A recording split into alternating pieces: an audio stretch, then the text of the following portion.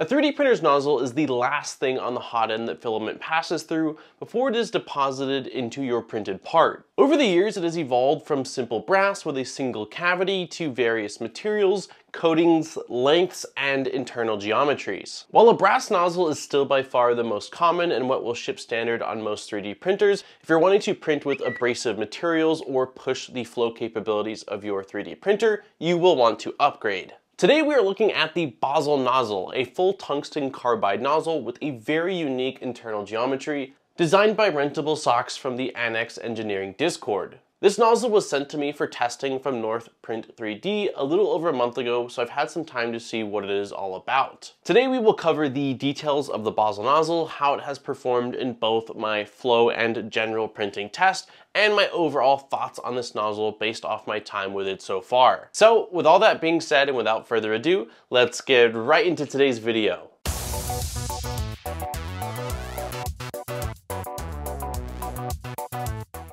The Bozzle nozzle is made entirely of tungsten carbide, which is arguably the best material to make a nozzle from. Its hardness rating is a 9 on the MOHS or Mohs scale compared to brass, which is a 3, and is second only to diamond. This makes tungsten carbide an excellent choice for printing with abrasive materials. Tungsten carbide can also withstand extremely high temperatures, while most of us will never need to print above 300 Celsius, and that's with something like polycarbonate, if you did have a printer capable of printing with say PEEK or Ultem and you needed a nozzle that can reach up to those 450 Celsius temperatures, well then tungsten carbide is a great option for that. Another plus of that is that if you do get a nasty clog or just build up over time, you can remove the nozzle, hit it with a torch, and then clear out whatever's inside of it, reinstall it, and you'll be back up and running. Another very important property for a nozzle is its thermal conductivity. Brass has a much higher thermal conductivity than say steel or hardened steel, which is why when you upgrade a 3D printer's nozzle from brass to say hardened steel, the manufacturers will often have you raise your printing temperature by somewhere between 5 and 10 Celsius. On the other hand, tungsten carbide has great thermal conductivity and it is actually very, very similar to that of brass. The Bozzle nozzle has a pretty unique internal geometry in the shape of an X or a cross, and the purpose of that is to give the filament more surface contact and increase its flow. This idea has become really popular in the past year with the release of the Bondtech CHT nozzles. The CHT splits the filament down three paths before it is extruded, which greatly increases its flow capabilities. This exact design is patented by 3D Solex, so the Bozzle nozzle uses a slightly different approach with its internal pattern. Currently, the Bozzle nozzle comes in one option, which is a 0.5 M6 threaded nozzle. This does mean that it will also work with MK8 blocks, but you will need to adjust your Z end stop or your Z offset to accommodate that slightly longer throat. As for the test subject, this is going on my LDO Voron switch wire. I love this printer and it is currently using the stock 0.4 plated copper nozzle that ships with the Phaetus Dragonfly hot end.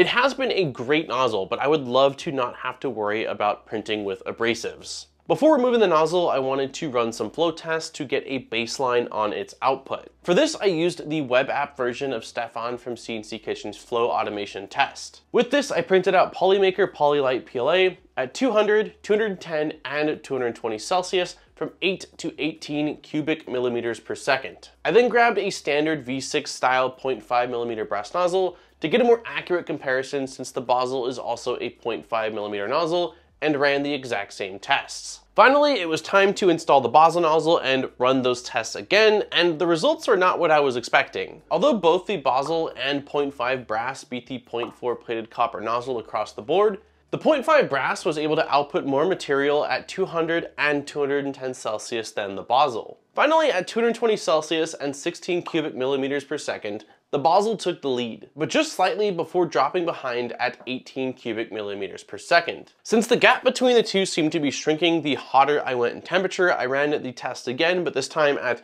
230 and 240 Celsius. The results were near identical, with the Bozzle nozzle having a slightly higher output in a few measurements, but for the most part was right behind the 0.5 millimeter brass nozzle. We are talking neck and neck with the difference often being just a hundredth of a gram. I did notice that there was a recommendation to use boron nitride on the threads, and since I'd just gotten some in, I removed the Bozzle nozzle, applied and reinstalled, but this had very little effect on the output. Hello, this is Daniel from the future. After I was done with the flow test on the Switchwire, I reached out to Northprint 3D with the results of that flow test. And they were convinced that something was definitely off and that it could be related to the tensioning on the Clockwork 1 extruder. I wanted to make sure I did my due diligence, so I grabbed the Ender 5 Pro that I have with the Micro Swiss NG extruder that has a lot of push force and I ran those flow tests again with a 0.5 brass nozzle as well as a standard brass nozzle and wow, were the results very different. For these tests, I used a different PLA, a temp range of 210, 220, and 230, and a flow range of 12 to 24 cubic millimeters per second. Although there was not much of a difference at the lower flow rates, the Bozzle nozzle really shined once we hit 20 cubic millimeters per second and up. At 24 cubic millimeters per second, the Bozzle nozzle was able to output roughly 15 to 20% more material depending on the temperature. I had been pretty stumped with my initial test results that I got off of the Voron switch wire. That's why I ran it at different temperatures, also trying with the boron nitride, and this was much more in alignment with what I was anticipating I was going to be able to get with this nozzle. We will be updating the switch wire to the Stealth Burner toolhead with the Clockwork 2, and at that point, I'm definitely going to be running those tests again to see what the results I get are like with this toolhead versus the Afterburner and the Clockwork 1 that I had. Once I was done with flow testing, I ran a few prints in regular PLA to make sure the changes I made to my profile were still looking good, and I was very happy with the quality of the parts that I was getting. Then I switched to carbon fiber PETG, and I did a fair bit of printing for a hot end assembly that I've been meaning to print out. The parts turned out awesome, and although I definitely still need to tune a little bit of the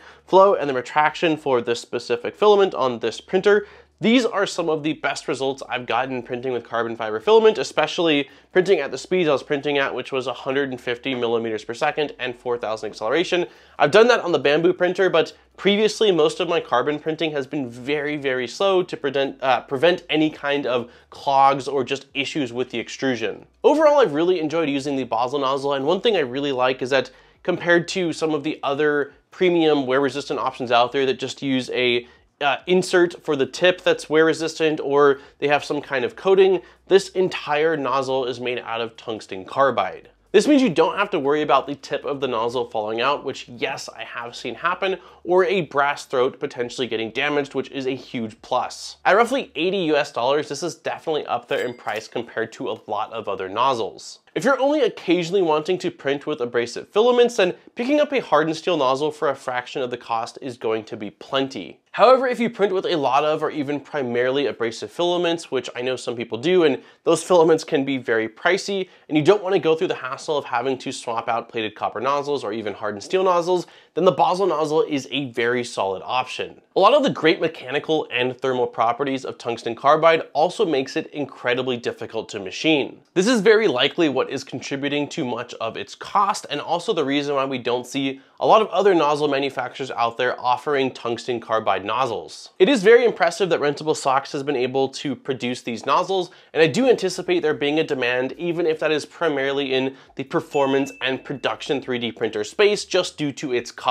And that has been the Bozzle nozzle. I hope that you enjoyed this video and I was able to answer the majority of your questions. If you have any additional questions, please let me know in the comments down below. And as always, if I don't know the answers, I have no problem reaching out to the manufacturer to try to get those answers for you. On that note, don't forget to like and subscribe for more great videos. We make a video every single week, so there's always fresh content coming your way. And if you do want to support the channel furthermore, I'll have links down below in the description over to our Patreon where there are some really awesome rewards. Huge thank you to all of our existing Patreon supporters. I appreciate each and every one of you for allowing me to come back every single week and spend more time doing what I love, which is making content for you all to enjoy. On that note, this has been Daniel from ModBot, I look forward to seeing you guys in my next video.